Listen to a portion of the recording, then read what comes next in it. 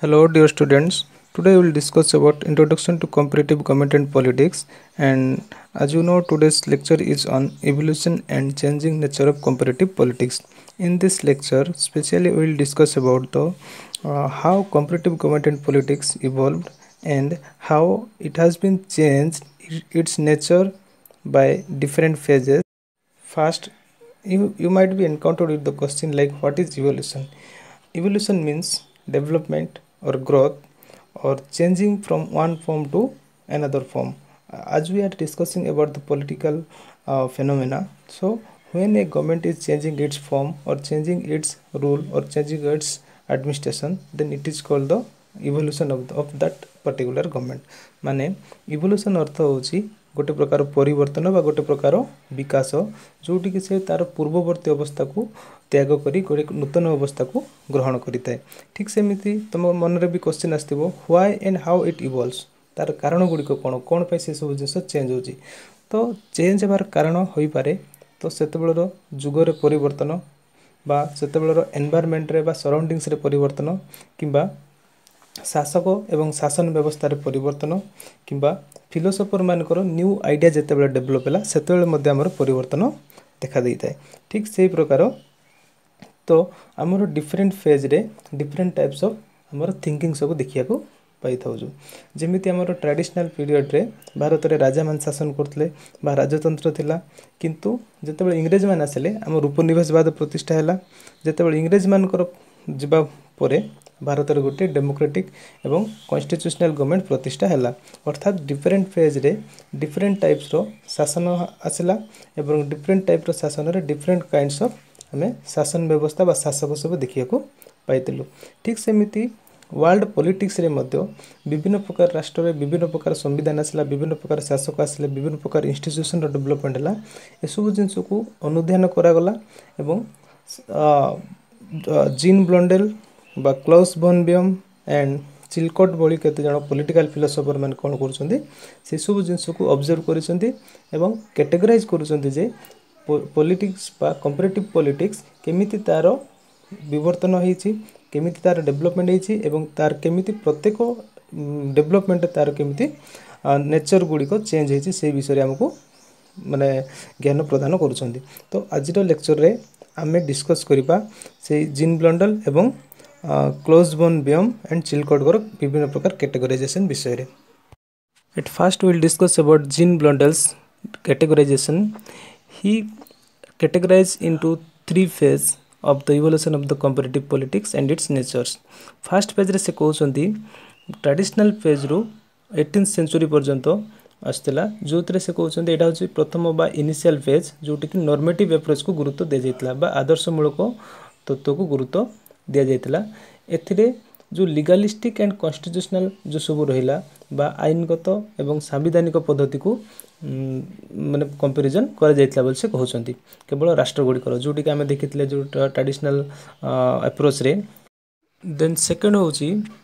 mid eighteen ସେଞ୍ଚୁରୀରୁ ଉଣେଇଶହ ଚଉଦ ପର୍ଯ୍ୟନ୍ତ ଉଣେଇଶହ ଚଉଦ ତୁମେ ଜାଣିଥିବ ଯେଉଁ ପ୍ରଥମ ବିଶ୍ୱଯୁଦ୍ଧ ପର୍ଯ୍ୟନ୍ତ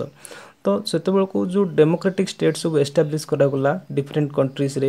ଯେଉଁଠି ଉପନିବେଶବାଦର ଧୀରେ ଧୀରେ ଅବସାନ ଘଟିଲା ସେତେବେଳକୁ ନୂତନ ଡେମୋକ୍ରାଟିକ୍ ଷ୍ଟେଟ୍ ସବୁ ତିଆରି ହେଲେ ତ ସେତେବେଳକୁ ଯେଉଁ ସାମ୍ବିଧାନିକ ବ୍ୟବସ୍ଥା ସବୁ ସୃଷ୍ଟି ହେଲା ସେସବୁ ଜିନିଷକୁ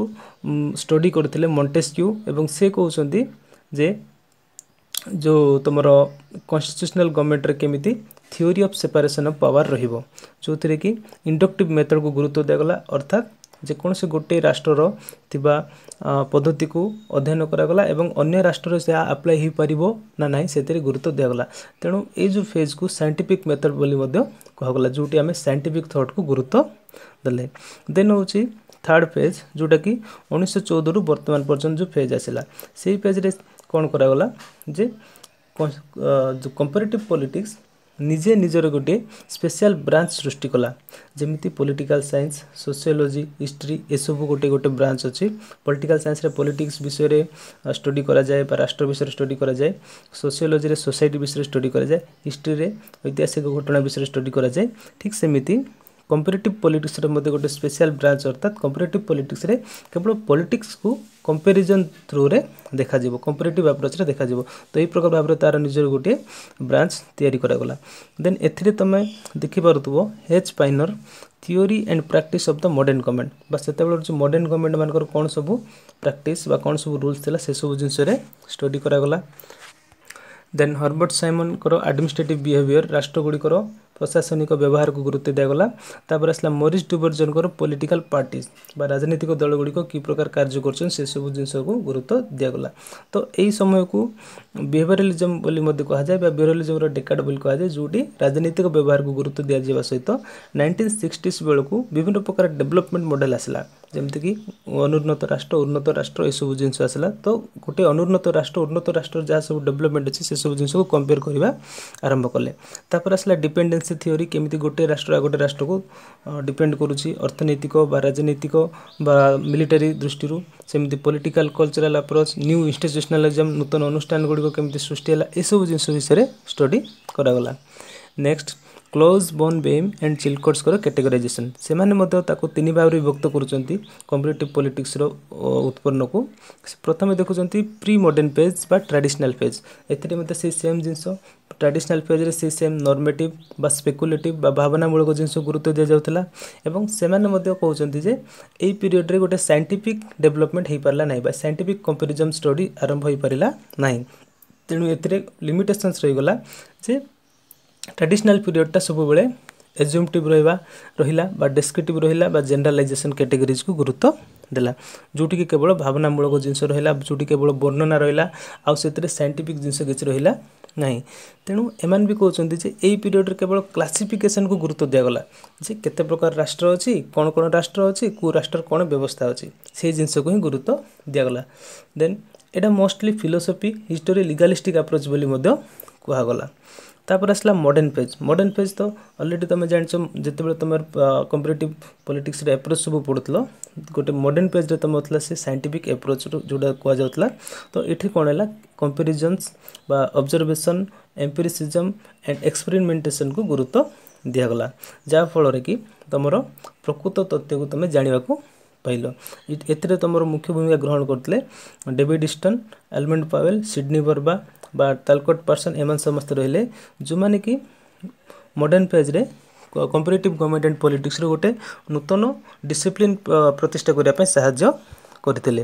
ଯେଉଁଟାକୁ ଆମେ ପୋଷ୍ଟ ବିହେଭିରାଲ୍ ମୁଭମେଣ୍ଟ ବୋଲି ମଧ୍ୟ କହୁଛୁ ଯାହାକି ସେକେଣ୍ଡ ୱାର୍ଲଡ ୱାର୍ ପରବର୍ତ୍ତୀ ସମୟରେ ଦେଖାଯାଇଥିଲା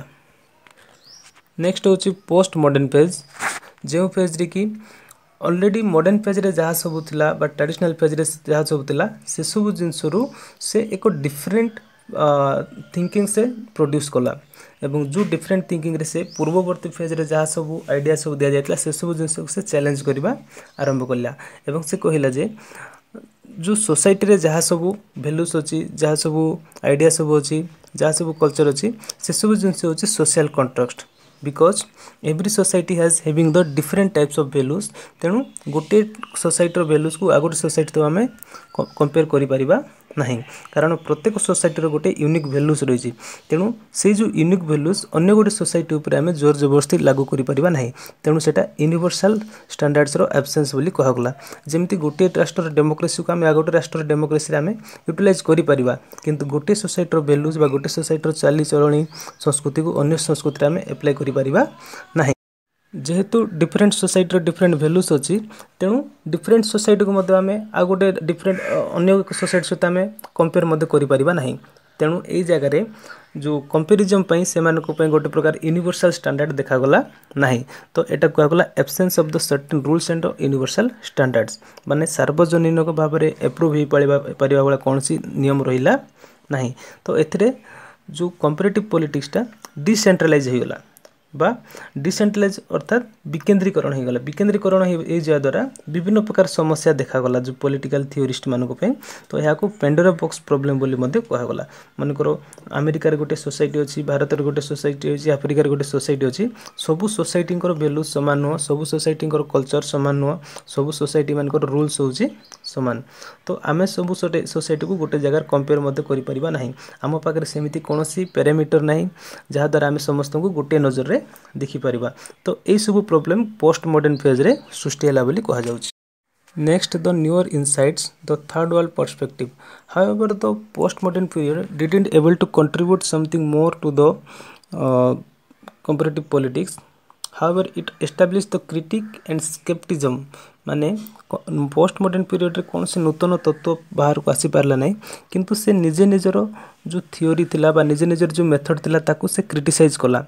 ଏବଂ କ୍ରିଟିସାଇଜ୍ କରିବାର କାରଣ ହେଉଛି ଯେହେତୁ ଯେଉଁ ପେଣ୍ଡୋରା ବକ୍ସ ପ୍ରୋବ୍ଲେମ୍ ଯେଉଁ ଆସିଲା ବା ବିଭିନ୍ନ ପ୍ରକାର ସୋସାଇଟି ସବୁ ଯେ ସୃଷ୍ଟି ହେଲା ସେଇ ଭିତରେ ଯେଉଁ ଥାର୍ଡ଼ ୱାର୍ଲଡ ପର୍ସପେକ୍ଟିଭ୍ ଗୋଟେ ଆସିଲା ଥାର୍ଡ଼ ୱାର୍ଲଡ ପର୍ସପେକ୍ଟିଭ୍ ନାଇଣ୍ଟିନ୍ ଫିଫ୍ଟିରୁ ନାଇଣ୍ଟିନ୍ ସିକ୍ସଟିରେ ଯେଉଁ emergence of the new nation states ଯେଉଁ ନୂତନ ରାଷ୍ଟ୍ରଗୁଡ଼ିକ ସୃଷ୍ଟି ହେଲେ ଯେହେତୁ କଲୋନିଆଲିଜମର ଅବସାନ ଦେଖାଗଲା ବା ଉପନିବେଶବାଦର ଅବସାନ ଦେଖାଗଲା ଯାହାଦ୍ୱାରା ନୂତନ ରାଷ୍ଟ୍ରଗୁଡ଼ିକ ସ୍ୱାଧୀନ ଭାବରେ ସୃଷ୍ଟି ହେଲେ ଏବଂ ସେମାନଙ୍କ ମଧ୍ୟରେ ନୂତନ କନଷ୍ଟିଚ୍ୟୁସନ୍ ସୃଷ୍ଟି ହେଲା ନୂତନ ଶାସନ ବ୍ୟବସ୍ଥା ସୃଷ୍ଟି ହେଲା ଏବଂ ବିଭିନ୍ନ ପ୍ରକାର ରାଷ୍ଟ୍ରରେ ବିଭିନ୍ନ ପ୍ରକାର କ୍ରାଇସିସ୍ ଦେଖାଗଲା ଅନପ୍ରେଡିକ୍ଟେଡ଼ କ୍ରାଇସିସ୍ ଯେଉଁଟା ତୁମେ ଆଶା କରିପାରିନଥିବ ସେଭଳିଆ କ୍ରାଇସିସ୍ ଯେମିତି ୟୁଥ୍ ଅପ୍ରାଇଜିଂ ମାନେ ୟୁଥ୍ ମାନେ ବିଭିନ୍ନ ପ୍ରକାର ପ୍ରୋବ୍ଲେମ୍ରେ ଥିଲେ ଯେମିତି ଅନଏମ୍ପ୍ଲୟମେଣ୍ଟ ରହିଲା ବା ୟୁଥ୍ ମାନେ ରାଷ୍ଟ୍ରର ଡେଭଲପମେଣ୍ଟ ଆଣ୍ଡ ପ୍ରସ୍ପରିଟିକୁ ଗୁରୁତ୍ୱ ଦେଉଥିଲେ ନେକ୍ସଟ ଯେଉଁ ରାଷ୍ଟ୍ରଗୁଡ଼ିକ ଥିଲେ ଯେହେତୁ ସେମାନେ ନୂତନ ରାଷ୍ଟ୍ର ଥିଲେ ତେଣୁ ସେମାନେ ଯୁଦ୍ଧ କେବେ ବି ଚାହୁଁନଥିଲେ ଏବଂ ଦୁର୍ବଳ ଥିଲେ ତେଣୁ ଆଣ୍ଟିୱାର୍ ମୁଭମେଣ୍ଟ ସବୁ ଦେଖାଗଲା ଦେନ୍ ଚାଇନା କଲଚରାଲ୍ ରିଭଲ୍ୟୁସନ୍ ଏସବୁ ଜିନିଷ ଆସିବା ଦ୍ୱାରା ଯେଉଁ ଥାର୍ଡ଼ ୱାର୍ଲଡ଼ ଯେଉଁ ପର୍ସପେକ୍ଟିଭ୍ ଆସିଲା ସେଥିରେ ୟୁରୋସେଣ୍ଟ୍ରିକ୍ আপ্রোচরে এইসব ଜିନିଷ ଗୁରୁତ୍ୱ ଦିଆଗଲା ୟୁରୋସେଣ୍ଟ୍ରିକ୍ ଅର୍ଥାତ୍ কম্পিটেটিভ ପଲିଟିକ୍ସରେ ୟୁରୋପ ହେଉଛି ସବୁଠୁ ମୁଖ୍ୟ ବା ୟୁରୋପ ହେଉଛି ସବୁଠୁ ଶକ୍ତିଶାଳୀ ଏବଂ ইউরোপর କଲଚର୍କୁ ସମସ୍ତେ फलो गर्ुन कुप्र जो तर इङ्लन्ड रे तमर इटाली र जर्मा र सब गटे गोटे गोटे उन्नत राष्ट्र तेणु सब हौ फास्ट वर्ल्ड कंट्रीज जो कन्ट्रिज जोमा थर्ड वर्ल्ड कंट्रीज कन्ट्रिजमा नुतन भावर जो सृष्टि सृष्टिले सही कन्ट्रिज मैले नियन्त्रण गरु मनोरञ्जन महान्त कि ट्वेन्टीएथ सेन्चुरले कम्परेटिभ पलिटिक्स तिनटा फेज र डेभलपमेन्ट हुन्छ जो थर्ड वर्ल्ड कंट्री जोटा रहा Asia Africa and Latin America आम जो कौच ग्लोबाल साउथ बा तुम जदि देख विश्वर ମାନଚିତ୍ରକୁ ଯଦି ଦେଖିବ ତାହେଲେ ସବୁଠୁ ଦକ୍ଷିଣ ଭାଗରେ ଯେଉଁମାନେ ରହିଲେ ତାଙ୍କୁ ଗ୍ଲୋବାଲ୍ ସାଉଥ୍ କୁହାଯାଏ ଏବଂ ମୁଖ୍ୟତଃ ଅନଫର୍ଚୁନେଟଲି ଗ୍ଲୋବାଲ୍ ସାଉଥ୍ରେ ଯେଉଁ ରାଷ୍ଟ୍ରଗୁଡ଼ିକ ରହିଲେ ସେମାନେ ସବୁବେଳେ ଓ ନର୍ଥର ଯେଉଁ ରାଷ୍ଟ୍ର ସବୁ ରହିଲେ ସେମାନଙ୍କ ଦ୍ୱାରା ଉପନିବେଶବାଦର ଶିକାର ହୋଇଥିଲେ ତେଣୁ ସେମାନଙ୍କ ଭିତରେ ତିନି ପ୍ରକାର ଡେଭଲପମେଣ୍ଟ ଆସିଲା ଗୋଟେ ଆସୁଛି ପ୍ରି କଲୋନିଆଲ ପିରିୟଡ଼ ବା ଉପନିବେଶବାଦର ପୂର୍ବବର୍ତ୍ତୀ ଅବସ୍ଥା ତାପରେ ଡ୍ୟୁରିଂ କଲୋନିଆଲିଜମ୍ ବା ଉପନିବେଶବାଦ ସମୟରେ ତାଙ୍କର ଡେଭଲପମେଣ୍ଟ ଏବଂ present encounter with the new colonialism ବା ଉପନିବେଶବାଦ ପରବର୍ତ୍ତୀ ସମୟରେ ତାଙ୍କର ଯେଉଁ ସ୍ୱାଧୀନତା ହେଲା ସ୍ୱାଧୀନତା ପରବର୍ତ୍ତୀ ସମୟରେ ସେମାନେ କେମିତି ନୂତନ ଉପନିବେଶବାଦ ଦ୍ୱାରା ସେମାନେ ସଂଘର୍ଷ କରୁଛନ୍ତି ଏସବୁ ଜିନିଷରେ ଡେଭଲପମେଣ୍ଟ ହେଲା ବୋଲି କହୁଛନ୍ତି ତ ଏହାଦ୍ୱାରା କ'ଣ ଆସିଲା ଏକ ନ୍ୟୁ ଷ୍ଟଡ଼ି ଗୋଟେ ବାହାରି ଆସିଲା ସେଇଟା ହେଉଛି ଇନଷ୍ଟିଚ୍ୟୁସନାଲିଜମ୍ ଅର୍ଥାତ୍ ବିଭିନ୍ନ ରାଷ୍ଟ୍ରଗୁଡ଼ିକରେ ଥିବା ଅନୁଷ୍ଠାନଗୁଡ଼ିକୁ ଆମେ ଅନୁଧ୍ୟାନ କରିବା ଆରମ୍ଭ କଲେ ତାକୁ ନୂତନ ଅନୁଷ୍ଠାନବାଦ ବୋଲି ମଧ୍ୟ କୁହାଗଲା ଯେମିତି ଭାରତରେ କ'ଣ ସବୁ ଅନୁଷ୍ଠାନ ଅଛି କ'ଣ ସବୁ ଲେଜିସ୍ଲେଟିଭ୍ ଅଛି ଲେଜିସ୍ଲେଟିଭ୍ରେ କି ପ୍ରକାର କାମ କରାଯାଉଛି ଲେଜିସ୍ଲେଟିଭ୍ରେ କି ପ୍ରକାର ସିଷ୍ଟମ୍ ଅଛି ସେସବୁ ଜିନିଷକୁ ଆଉ ଗୋଟେ ରାଷ୍ଟ୍ରର ଲେଜିସ୍ଲେଟିଭ୍ ସହିତ ତୁଳନା କରାଗଲା ତ ସେଥିରେ ଆମର ବିହେଭିଆରାଲିଜମ୍ ମଡ଼ର୍ଣ୍ଣାଇଜେସନ୍ ଏସବୁ ଜିନିଷକୁ ମଧ୍ୟ ଗୁରୁତ୍ୱ ଦିଆଗଲା ତ ଏଇଭଳି ଭାବରେ ଆମର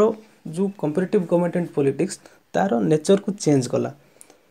ଅର୍ଥାତ୍ ତା'ର ଯେଉଁ କ୍ୟାରେକ୍ଟରିଷ୍ଟିକ୍ସ ତା'ର ଷ୍ଟଡ଼ି ବା ତା'ର ଅଧ୍ୟୟନ କରିବାର ଯେଉଁ ଶୈଳୀକୁ ସେ ଚେଞ୍ଜ କରି କରି ଆସିଲା ତ ଥ୍ୟାଙ୍କ ୟୁ ପିଲାମାନେ